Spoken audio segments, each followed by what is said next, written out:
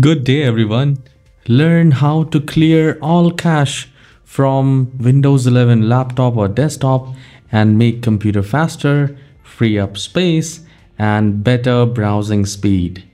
Alright, so the very first thing here is to click on the search icon and type run and then click on open.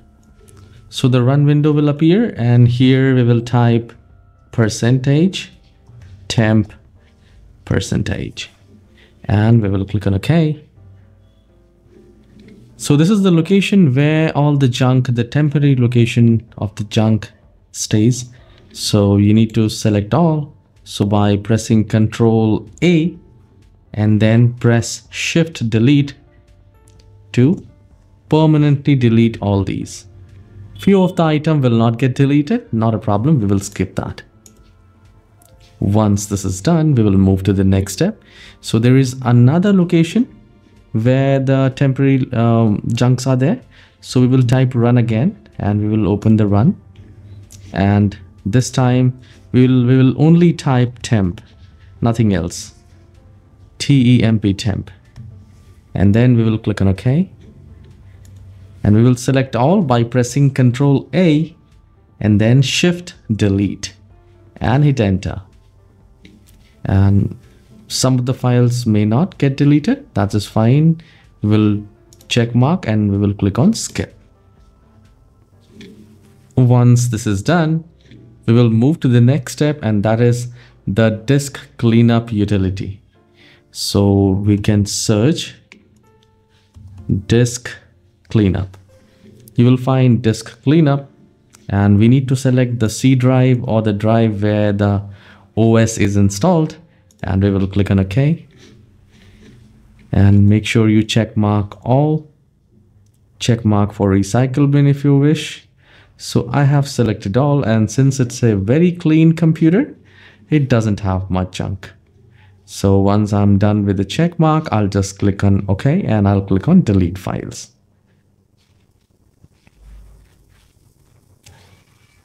Once it is cleaned to free up more space, we need to delete the Windows Update files which is already updated in our computer but their leftover is still there in the computer.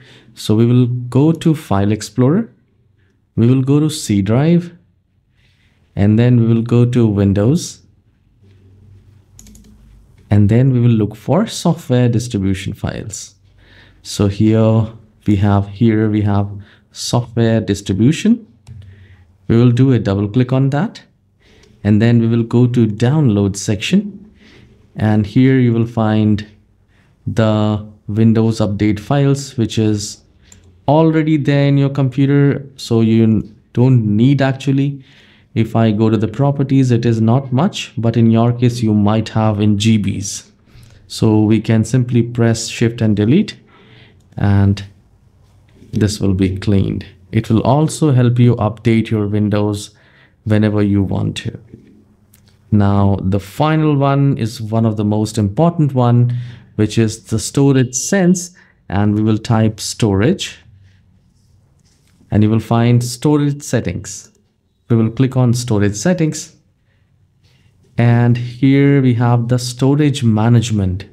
Now this storage sense should be turned on automatically free up space, delete temporary files, and manage locally available cloud content. If we click on that, we get another window which says keep Windows running smoothly by automatic cleaning. So we have turned the automatic and you can turn on this every week or every day or every month according to you. How many days, for how many days you want recycle bin to be cleaned you can select one day or 14 days. It is up to you. And you can also run the storage sense. We will go back to the storage and now we have the cleanup recommendation. That is also good.